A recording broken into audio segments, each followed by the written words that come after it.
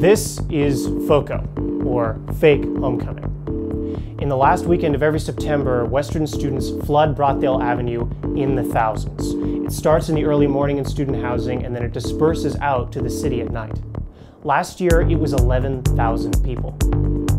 This is HOCO, or Real Homecoming, that takes place in October. Now, if this photo was a video, it would still be just as quiet.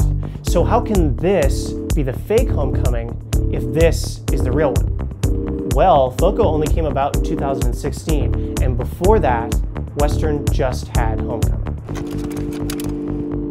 A homecoming is a chance for alumni to come home to their former school and celebrate their school spirit.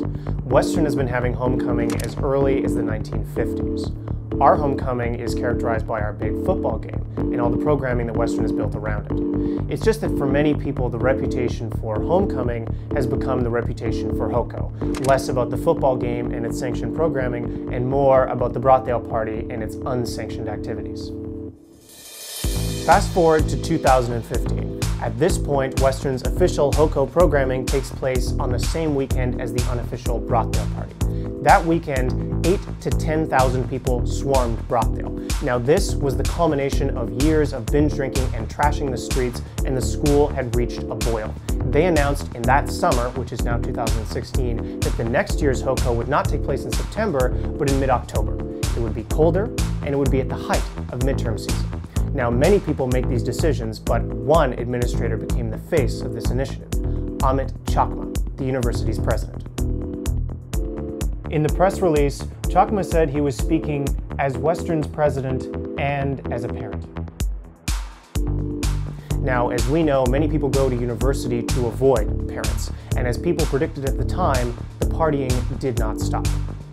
That September, on the original homecoming date, 10,000 students amassed on Broughdale for the newly dubbed FOCO, fake homecoming. This was despite mass emails sent by the administration to students and despite letters sent by the London police to residents of Broughdale warning them about the dangers of illegal street parties.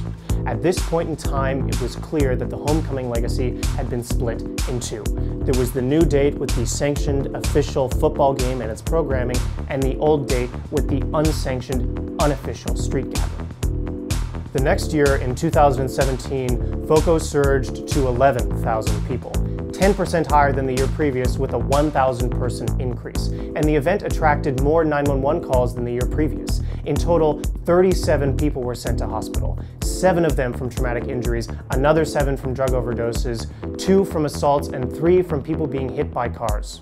Police issued eight arrests, 11 charges, 50 notices, and 969 warnings.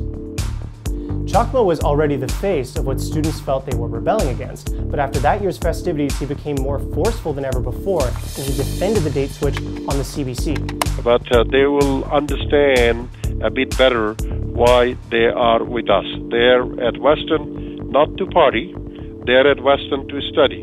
And while the president believes that homecoming is not a student event, FOCO's popularity over the past years has made clear that students feel otherwise.